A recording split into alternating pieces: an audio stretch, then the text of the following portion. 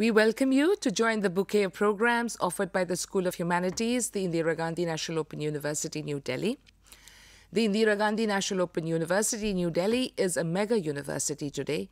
It was created by an Act of Parliament in 1985. It is the world's largest university with an enrollment of about 3.5 million current students and 3.2 million alumni. IGNOU has also been accorded the highest grade of academic ex excellence, A++, by the National Assessment and Accreditation Council or the NAAC.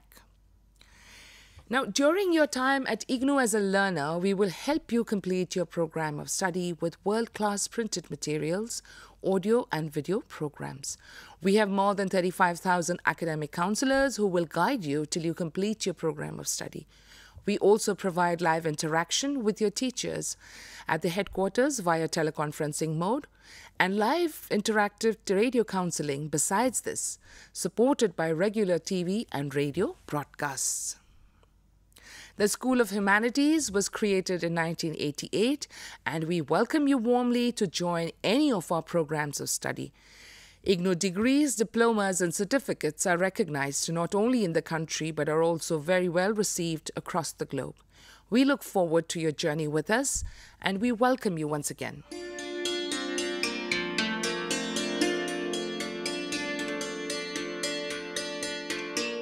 The master's degree program in English that is offered by the School of Humanities has a very unique modular structure. Now, what do we mean by modular structure? We have different modules built into the MA program, and that allows you to do certain interesting things, which I will get to in a little bit. And we also give you the opportunity to focus on particular areas of study during your postgrad studies. We provide learners with a very, very sound understanding of American, Australian, British, Canadian, and Indian English literatures, and also of the English language. However, we would require that you have a good knowledge of reading, comprehension, and writing skills because that would help you with your program of study. Now, in order to complete the MA program in English, you will need to opt for courses from any two modules, along with one compulsory course each in both the first year of study and the second year of study. Now, let me tell you a little bit about lateral entry and exit.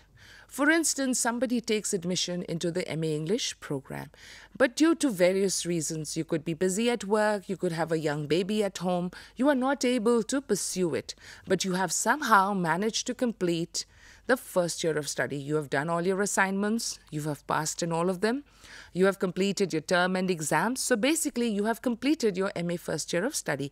But because of certain reasons, you need to put your education on hold. So, what you can do is you can exit the MA program with a PG diploma in whichever module you have chosen for study. Similarly, if somebody were to take admission in our PG diploma programs, I will be telling you about them later. And you you've completed it in a year. And you know that you know you would want to do an MA in English. You are capable of it. You have managed your time and you can do it then you can take admission in the second year of the MA English program directly. So that is what I was trying to explain when I was talking about lateral entry and ease of exit. The eligibility of the master's degree program in English is a bachelor's degree or a higher degree from a recognized university. The medium of instruction, of course, is English.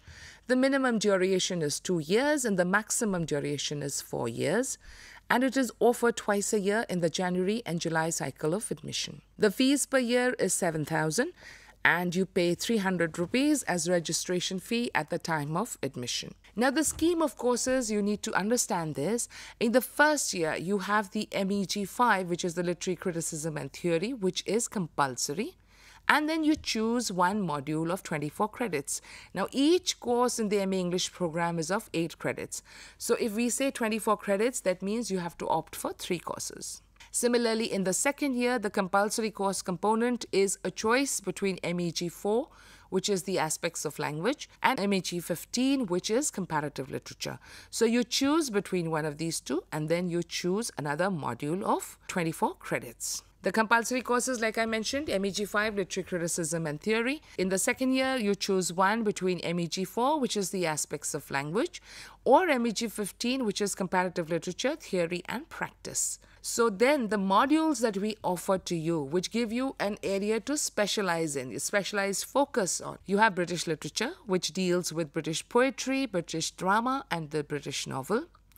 Then you have a module called Writings from India in this, we look at Indian English literature, we look at English studies in India, we look at contemporary Indian literatures and English translation.